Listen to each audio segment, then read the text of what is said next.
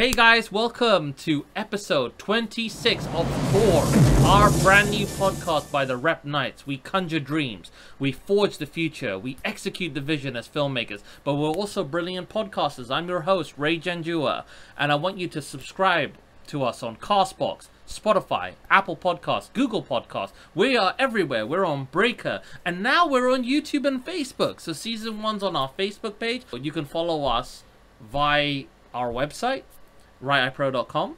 If you love tech, you love tech reviews, you love movie reviews, you love gaming reviews, and more, the House of Rep has it. So stay tuned for another great episode. We're going to be talking about Bill and Ted's Bogus Journey, one of my all-time favorite films. It's going to be a fun episode here at the House of Rep.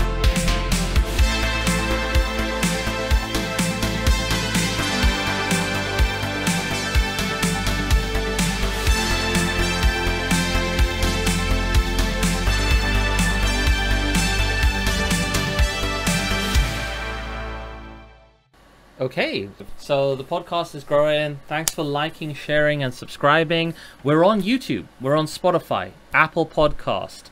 We're also on Castbox, Anchor FM, where it all started. So definitely, wherever you want to listen to this podcast, please subscribe, share, and tell people about it. I'm also on FB. You can follow us at Rep Knights and um, the team are on there and we're, we're making some magic. We've got some cool stuff coming up. I just want to introduce z who's going to be also on the show. So z say hi to everyone. Hey everyone, welcome, welcome to the house. all right bro. Let's get into it. So bill and ted's bogus journey. Bro this film is dope. Yeah, this is it's one of cool. our all-time favorite films.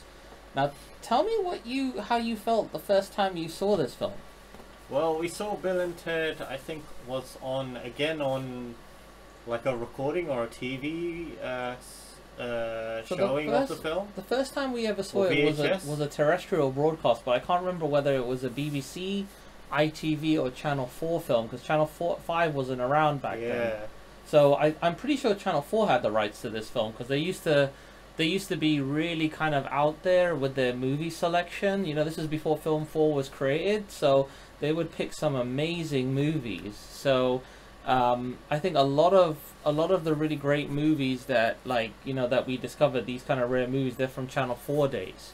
That's the kind of feeling I get from the first time we watched it because the first Bill and Ted was a Channel Four terrestrial viewing for us because these films had already come out in the cinema and we hadn't started going to the cinema yet. We were still quite you know like it was a new experience for us. You know, going to the cinema. We didn't go very often.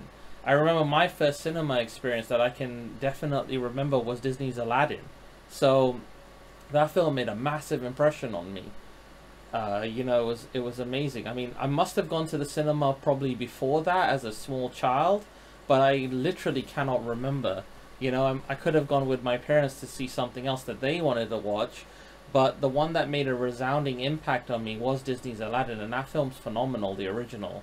The remake, not so much, the one by Guy Ritchie, but the original animated film, that was really amazing. Uh, going back to this film, it's a lot darker, but it's also fun. It's really cool. Uh, so Z set up for them, like you know, uh, what what are the kind of like some of the changes in this movie, like as they progress forward. yeah, cool. So we see Bill and Ted uh, back again in California, and they're living the life, and they're still trying to do their kind of thing with the Wild Stallions Mhm. band. Mm.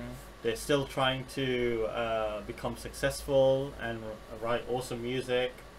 Um, but obviously, Bill and Ted are kind of gone through a slight change compared to the first film. Obviously, the production value of the film has gotten a lot bigger.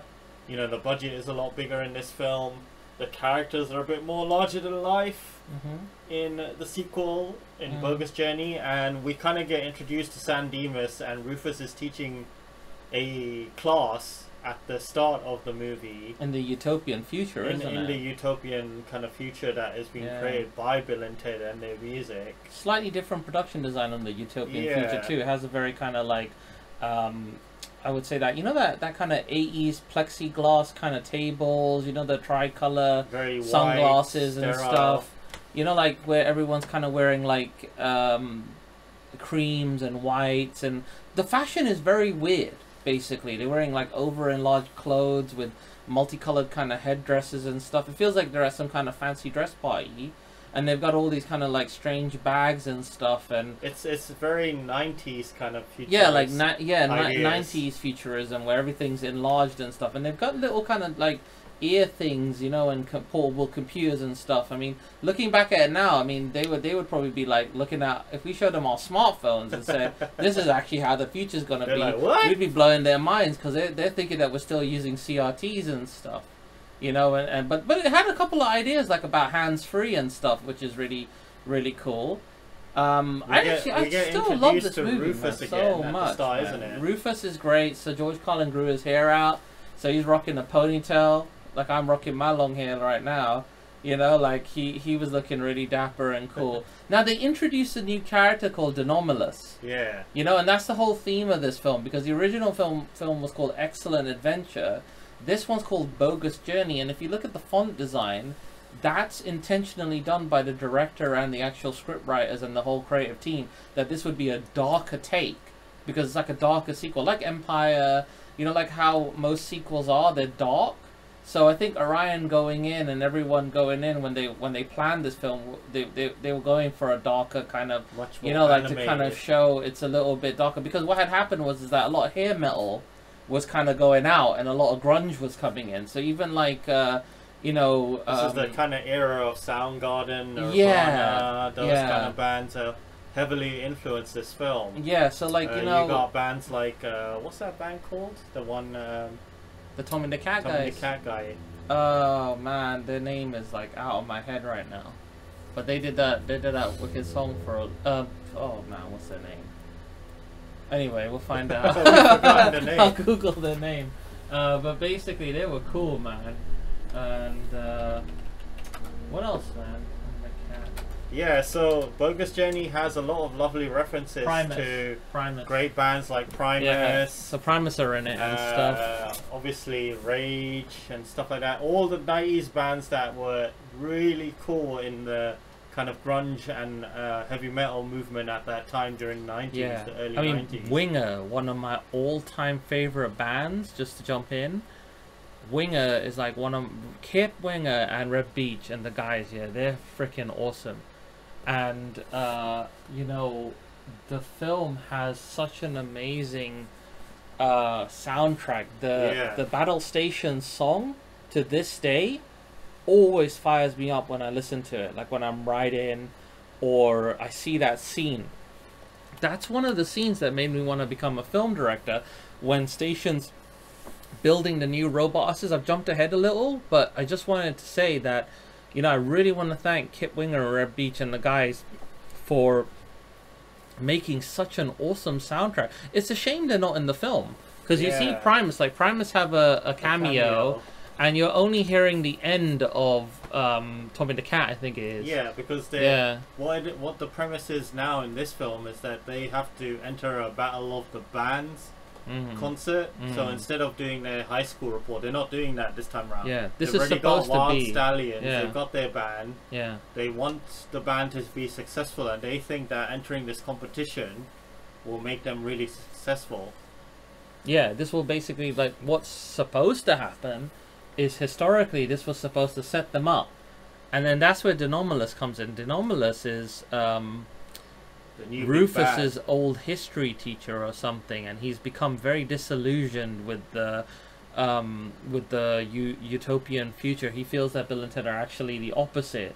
He's he's like he's got some sort of a group, some kind of like evil group. That kind of also a little bit undermines the utopian society uh, idea that they brought about world peace because um, you know like it's very highly debatable that because if it's a utopian society is there still a kind of like uh, anarchistic kind of fringe element in their society this film kind of proves that most of the society is tolerant with each other and the government and everything has become free but there's a few ardent um, you know, like selfish people with their own kind of ideologies who are. Um, so, yeah, the anarchistic fringes, you know, of society are still kind of explored in this film, where um, there's an there's an element that doesn't agree with the status quo, and they're actively trying to kind of um, you know destroy what this is.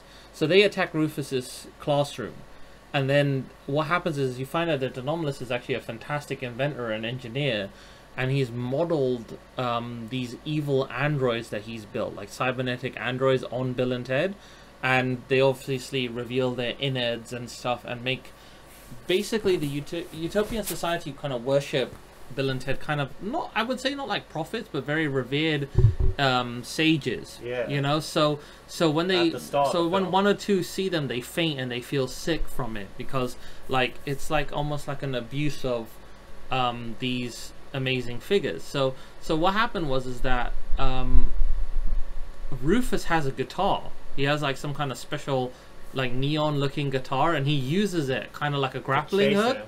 So what happens is that when the two Bill and Ted say death to Bill and Ted and they're basically gonna go kill him time, yeah. and everyone's all shocked that De Nomolos is sending these people back to kill Bill and Ted, uh, Rufus follows them. So what Rufus does is he throws his guitar at the last minute and he has his guitar lead that he uses as like a, a, a- a rope and it drags him into the to the circuits of time.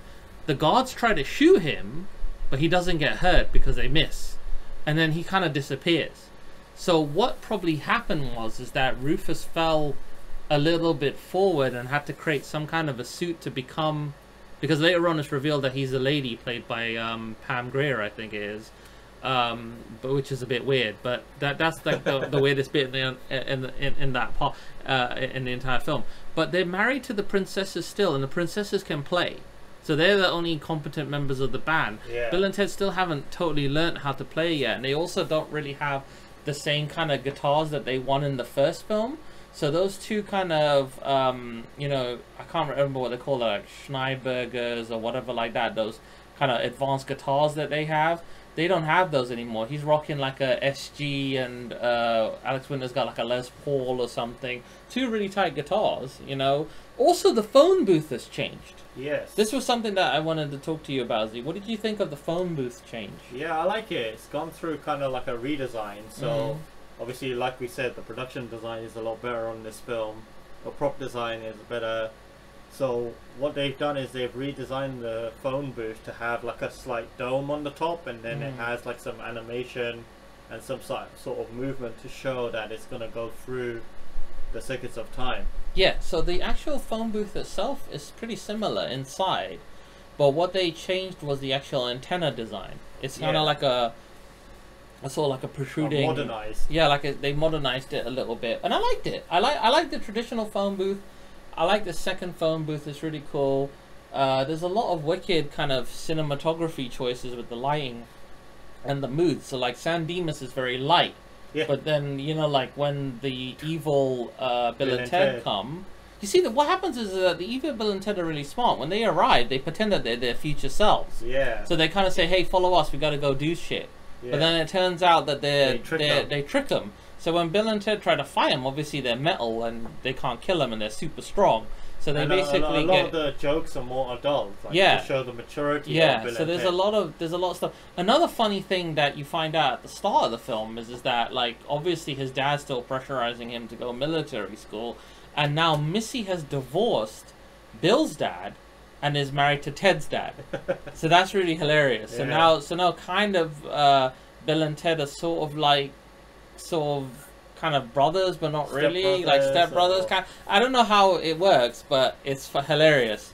And then um, his dad's like really depressed and stuff because of it. Like you know that he once had Missy and now he doesn't have her anymore and stuff. So Missy's quite funny, like in that sense. She just kind of like, just as a like a total man eater. She just Yeah. loves to get different guys. But also, there's like really nice undertones with the parallels of the evil Bill and Ted. So. Keanu Reeves and Alex Winter have to play the evil Bill and Teds with a different And they kind do of it well. style, and they do it really well Yeah. because they have to be more. They're more callous. They're more psychotic characters. They're more evil. And they do stuff that normal Bill and Ted would not do. It shows off Alex's range really well too, because Alex is a very good like actor with a theater background, and he's a very good director too. A lot of people don't realize that he did um, he did a few documentaries, like well-known documentaries. If you look out for his stuff, he did some really cool stuff back in the day. You know when uh, all the first kind of like banking crises happened and stuff. He was doing some really cool stuff. So um, in this film, they do a lot of wicked kind of like gags where like they pull their heads off and they you know like they do stuff. Classic, classic kind of Yeah. 90s tricks. Oh man, it's so cool because also what's really cool is they use that mountain that Kirk fought on. Yeah. You know, so so. I, I The think they, Gorn. I think you know I think they show the Gorn fight yeah. like they're watching on, it? on the on the yeah, TV. so they're watching it on It's TV. like so they're watching Kirk versus the. Gorn, and he's walking up the same mountain. Then later on, they're taken up that mountain, and then they're thrown off of it and die. So when they die, the Reaper comes, and then they basically tell the Reaper to kind of like go stuff himself. So this is this is Bill Sadler. This is William Sadler. If anyone anyone knows w- William Sadler's work, he's a phenomenal actor. So this is the very first time yeah. I saw him in a movie as Death, and he was amazing. Then I saw him as um, a character in um, Star Trek Deep Space Nine. He played like a Section 31 operative, and he was amazing in that too. I can't remember what the name of his character was, but that was an amazing one. I'll touch on that when I do a Deep Space Nine review, but that was like one of the kind of like standout arcs in um, in DS9. You know that whole Bashir Section Thirty One stuff. You know him being kind of like an agent in real life. You know because he was he always loved that whole spy thing, and then the guy kind of picked up on that and used Bashir in that way because he knew Bashir would be a good spy for him. So that was really cool. And Bill Sadler just plays a funny death in this, like really fun death. And what happens is is that the guys They're, Uh, they're going to hell and it takes forever. yeah, for yeah, the drop, go to the hell. drop I'll touch on. The drop makes you laugh, but before the drop happens, though, they're kind of like specters in on Earth. You know, like how people haunt stuff. So it plays on that kind of like ideology that that some people stay behind because they don't want to go heaven or hell. They don't want to let go. So they basically start haunting their family. So first they go to see their dad to try and tell their dad they died. So him and his colleague get possessed, and he's like, "I'm totally possessing my dad, dude." You know, it's like so the actor who plays the father, um, he's acting like Keanu, like, and it's just so funny. And then instead of like him having an electric guitar, he has like an old jazz guitar kind of sound, which is quite funny. And then when they go to try to basically kind of talk to Missy, and she's like into this kind of weird new age kind of seance stuff with her her kind of like um, valley friends, you know, like she's got a little valley clique that she hangs out with, you know, uh, and it's the writers, if I remember correctly. Yeah. So it's Ed and Thing who are like they have the cameos as those valley friends of hers, right? So basically, they have like an exorcism, and they think the seance has gone wrong. So she she says some weird Latin stuff, and that's what kind of basically sends them to hell, and that's why they're falling like forever down down into hell. hole, yeah. And then they end up in their own personal hells, and then for like Bill and Ted, they're bad. So for for Ted, it's like the Easter Bunny uh, and the military school. yeah. So what happened was is that Ted ate all the the kind of Easter eggs that were for his little brother, and he felt immense guilt for that. And then the Easter Bunny basically is chasing him. He's like a kind of evil Chucky style kind yeah, of Easter Bunny very exaggerated. Yeah, like- animated. and then and, and then for Ted and Bill, they have the Colonel, who's basically from the military school, but not the real life version of him. A sort of like a demon kind of image of him, which is forcing them to do push-ups and you know suffer. Like they have to do infinity basically, like an infinity amount of push-ups. And I was like, you know, that was the very first time as a kid I learned what infinity was as well, you know, and stuff. So it was really funny. And then um, Bill's personal hell is his granny. He was Yeah. always afraid of her old age and scared of her because she had like you know very advanced kind of like um, she was very uh, you know advanced in her years. And for him as a young child, you know that that kind of image of someone all withered away and kind of like old and stuff scared him. I think he has like a fear of of getting old and not leaving some kind of legacy behind. So there's something there's some there's some kind of subtext in there about you know like what it feels for him you know like to to express affection to someone and also he's a little just like for for him he's a little grossed out by his granny you know because she's just like aging and she's got like the yellowing of the teeth teeth and and- you know stuff like that so so what's really interesting about that scene though is that um alex winter plays his grandma yeah. so he's in prosthetics. So that's amazing. Like that's a really good performance by him. It's really fun. It's a fun moment. And And then you don't you don't know we didn't notice that straight away. It took us a long time to figure that out after watching the film a good few times. Yeah, because when we were kids, we kind of like couldn't really like we didn't really totally suss that. Uh, second or like third time viewing, I guess we kind of picked up on it that it was him, isn't it? Like, Yeah. uh, uh, and that was really cool. Then they have to play the Reaper to basically go back to kind of like that purgatory kind of area. Yeah, and this is the and funniest and that's a really funny kind of little um, slow sequence of events um, where they're playing all kinds of games like board Twister, um, you know. So, like I would say it's Subbuteo, but it's not Subbuteo. It's like the American football version of Subbuteo. Like um, I don't know if no one's probably gonna remember Subbuteo, but Subbuteo was this weird game where you would have these motorized um, avatars, yeah, that look like football players, and they were kind of remote controlled, and you could make them kick the ball and advance your uh, Well, your pieces on a magnetic it, board. the- It was weird. in the nineties there was a good trend of board games and stuff Yeah, like that. yeah, yeah. Yeah. Tabletop stuff's made made a bit of a comeback Yeah. now. So some people make some really advanced board games that you can get like via you know like uh, direct shipping and stuff and like you know things like that. And you go to like Games Workshop and kind of other comic book stores, and then you can find them. Uh, you know, like places like that, but um, you don't often because you know what Toys R Us has gone into administration now, which is like kind of like for me quite sad because I just loved it. I used to I used to love going to Toys R Us and just looking at the toys because I'm just like a And big we, kid. could, we could see all the Yeah. all the board games. So the board games are all there, and. I used to love it because like you could see them. And Twister was fun. I used to play Twister when I was a kid, you know. So so Twister was like you know a really hard game, especially when you got like the yellow or or green in the most awkward place. You had Yeah, to do so- what Death so, did. So they play a lot of games with death, isn't it? Yeah, so they play so many games with Death. And they also Melvin him as well the first time they meet him. So if you don't know what a Melvin is, a Melvin's like a wedgie. So basically they gave him like what they call a wedgie, which is a Melvin. So like, you know, that bit's funny too. But also so they look different when they're like specters, isn't it? Yeah, so like that's another thing about the the kind of cinematography. So when they die, uh, the the color is desaturated in the scene. So so whenever they're dead, it's very kind of like Grey, pale and muted and stuff. Even when they're playing death, it's got this wicked cinematography where it's got some kind of like a so like a blue filter, like a kind of like a desaturation filter on it. Now I think a lot of these filters back then were actually in camera as well. They were Yeah. they were they were cinematography decisions and production design decisions from the director, which shows their prowess as filmmakers. And that's what's really beautiful about this. This doesn't look like this was digital tricks. This looks like this was actually made a lot by um sorry in camera and that's another reason why i really Practical love this effects. film a lot and then the other thing that's uh, really cool is when they go to hell and they go to the different kinds of personal hells that they have oh i forgot to mention there's this giant asteroid that they land on Oh yeah. like it's a rock. but the rocks are all chained to this giant kind of furnace looking mouth with a massive looking kind of like um, Devil. creature that looks like the devil.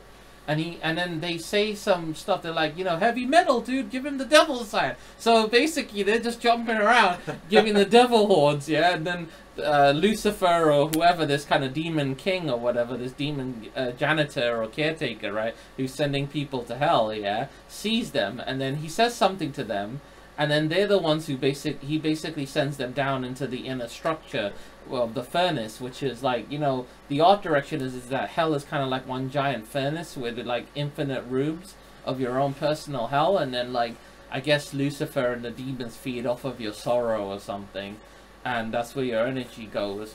But like they they are running away from that. So the cinematography they use a lot of like fisheye cameras to create this feeling of claustrophobia you know whereas you know later on when they end up in heaven like they're they're After after they beat death. after they after they beat death because i'm jumping forward again um, basically what happens is is that they beat death and then death takes them to heaven.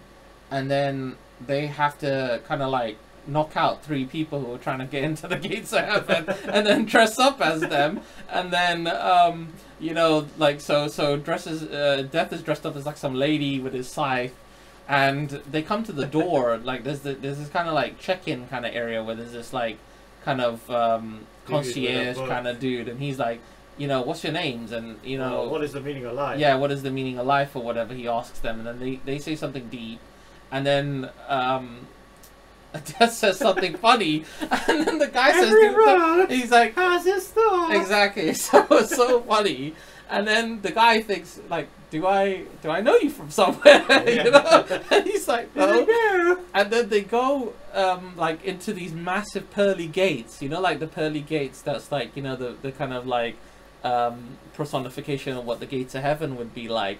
And then they go up these stairs, which have these kind of like statues that look kind of like Greek Masonic kind of. I don't know what they are, but they're statues. Yeah. And then they could be like avatars of God. I'm not too sure. Yeah, I don't want. I'm not going too into the whole religious and metaphysical kind of like um, thing. But I, I used to think about it a lot when I was a kid, and sometimes it would make me a little bit melancholy and sad about like dying. But also, it made me wonder if there was a heaven.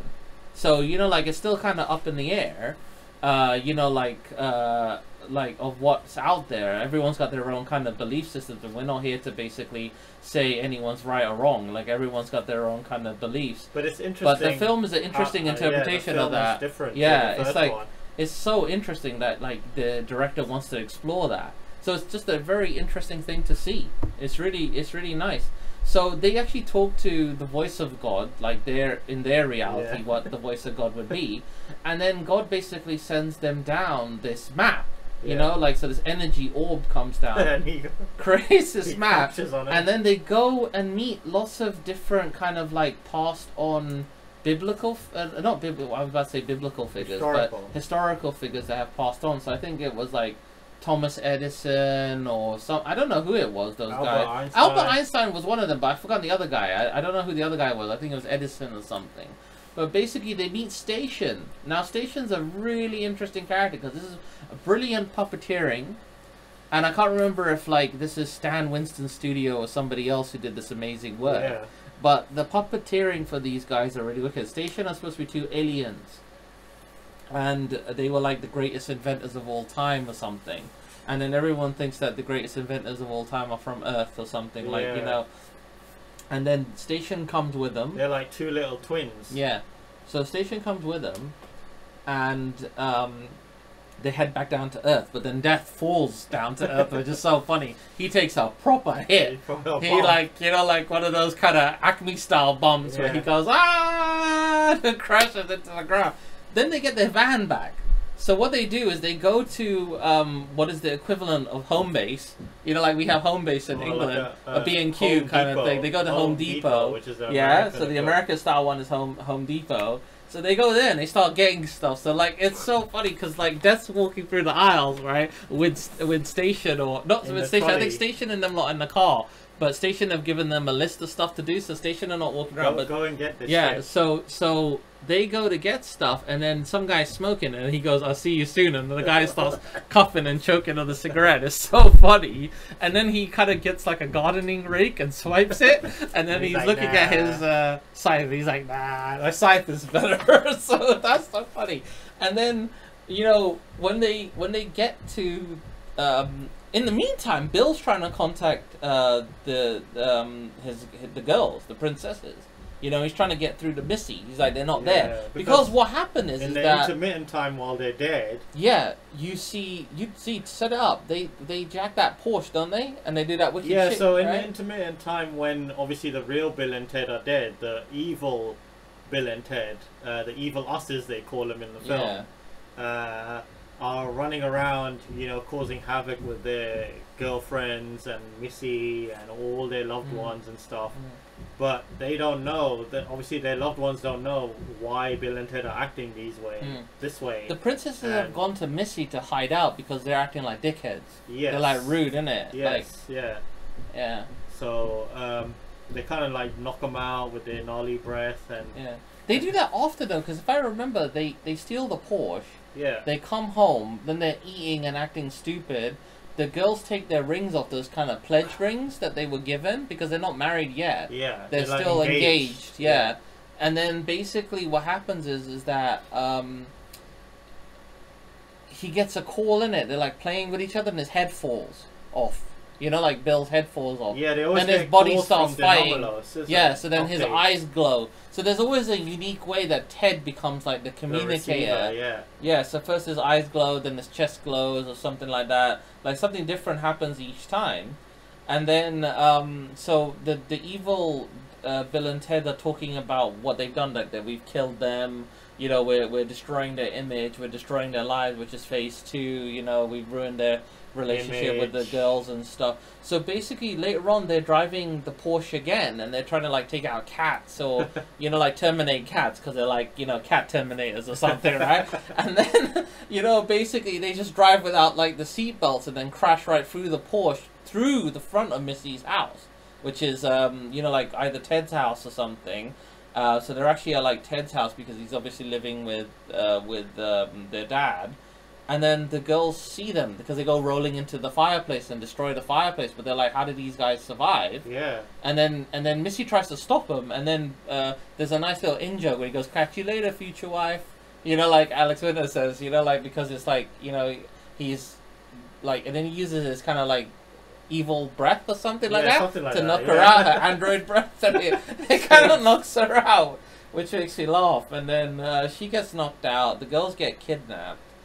Uh, then, you know, ironically, Bill calls Missy's house, and then the evil uh, Bill picks up, Yeah. and he's like, "It's us. They came back from the dead and stuff." Oh, and they're he's like, like, "We're totally gonna kill you, you evil metal dickweeds or something, right? You know." So Oh, they, yeah. so they are all arguing with each other, and then um, things get really urgent because they gotta get to the battle of the bands, right? Yeah. So then Station kind of walks away, and then they think, "What's going on with Station?" And like, then they what they- you they look at each other in this kind of like very antagonistic way, and then one of them's like revving up to like run into the other guy, while the other one looks a little bit meek and worried.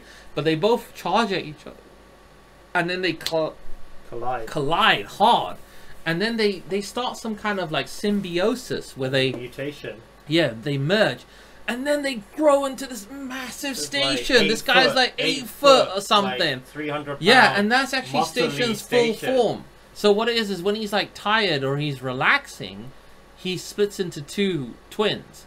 When they merge, their IQ It's merges, and that's why they're so small. So Station gets to work, and it's my most favorite, one of my most favorite scenes in a movie ever. The editing, the cutting, the, The music, music. by Winger just blew me away. The way Station's working to build the machines, the way The good- uh, the Death is Bill and looking, and the way they're driving. He creates these awesome robots. The good Bill and Ted made out of like parts. appliances. Yeah, out of like appliances, and I love the animatronic and and Yeah, kind of kind of mo- the uh, design, stunt man. work, It's just so cool. That's The like one of my most favorite scenes in the entire film. If you're not gonna watch the entire film, or if you haven't seen the film, if you lived under a rock, go just see that Go that scene. it out now in 4K. Yeah, you can see it in 4K restored. Oh my god, this fil- is it out in 4K? I can't remember. Is there It's a Blu-ray yeah, of it? Like, like the first film. Yeah? Yeah. Oh man, that's great. I need to pick up a copy because I still got an old one if I remember correctly of it. So, um, like I've only got like some kind of uh, DVD or something of the second film. I was waiting for it to come out on Blu-ray.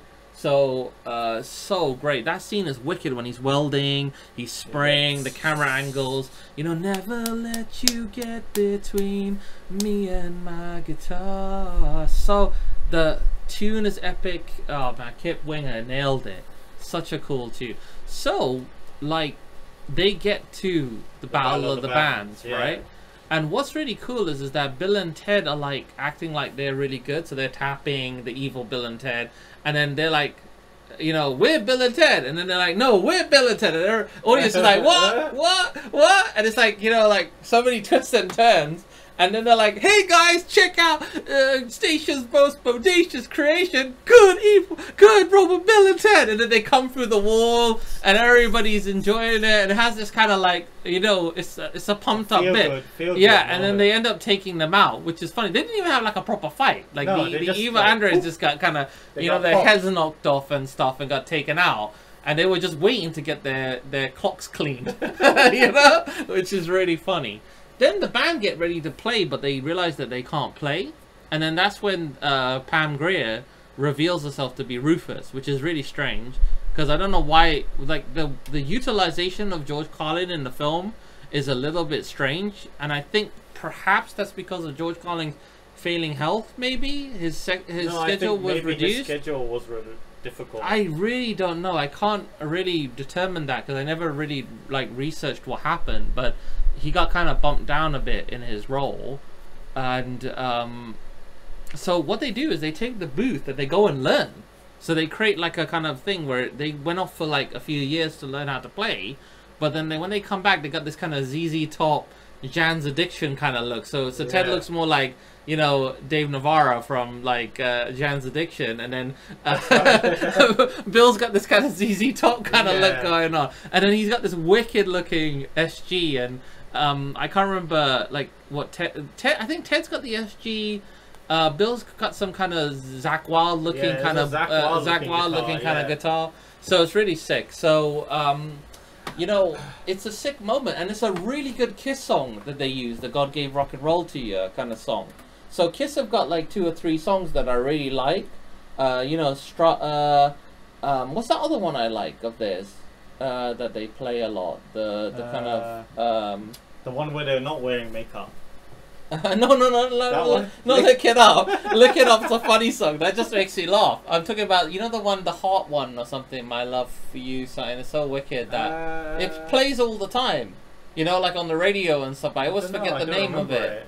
Ah, I remember the name when I do like when I review some of Kiss's like albums and stuff. But Strutter and uh, this are really epic songs. This song was epic. It has like such wicked guitar bit, you know, and um, But if you if you, if you remember, like when we saw the film, it never looked as good as it does now. If you look at it, Yeah, we saw It it, really so bad at that, and so like VHS and darkness. And we had that weird Baird TV, you know, that old Yeah. Baird TV before we got our Hitachi TV. So my dad had this TV, which was kind of like a leftover of his business. Like he had this old kind of Baird TV, and Baird were a really tight company. They're not in like Back a in business anymore, but they but that TV's tube started to wear out after about like you know almost like 15 years of life that that TV was hammering on.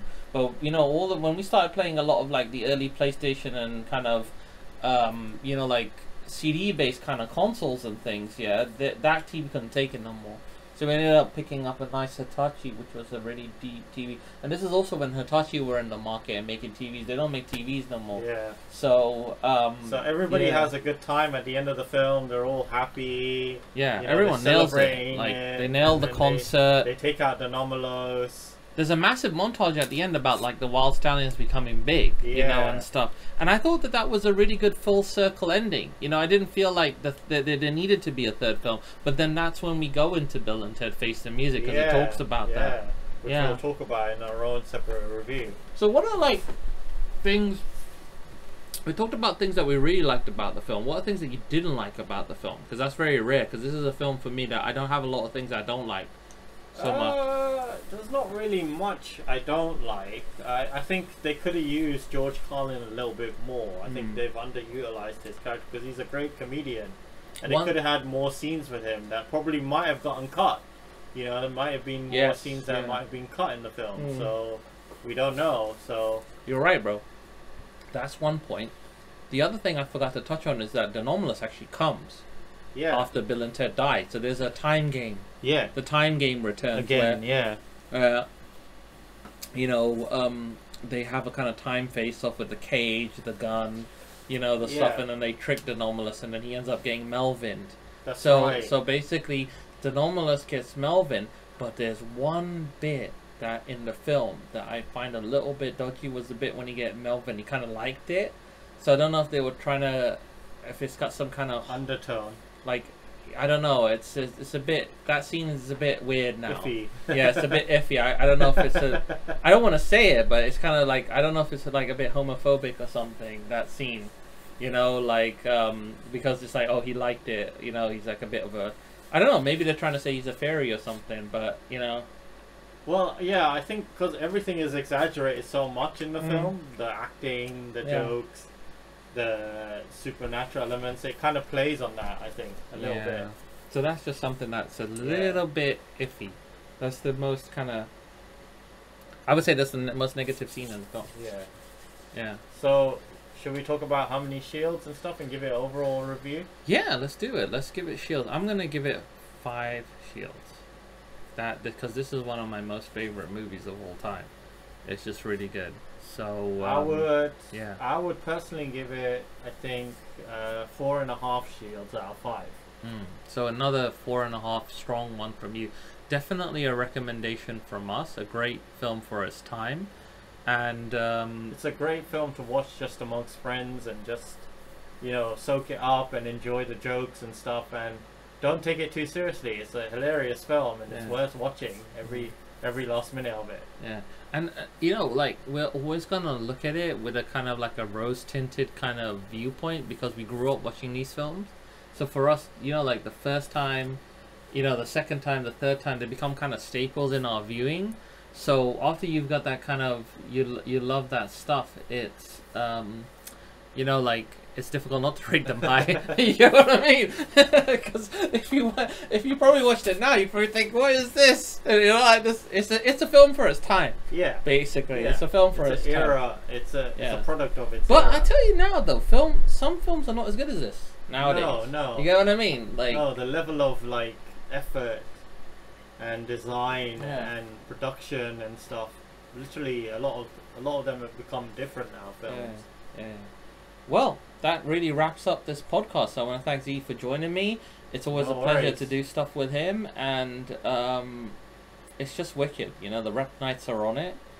We're a great team, and we love this show. So, guys, keep subscribing, keep loving it, uh, keep rocking on. You know, um, it's just wicked. So, stay tuned for another episode of the House of Rep. I'm your host, filmmaker, director Ray Jandua. The Rep Knights, we conjure dreams, we forge the future, and we execute the vision. It's all here at the House of Rep. See you on the next one.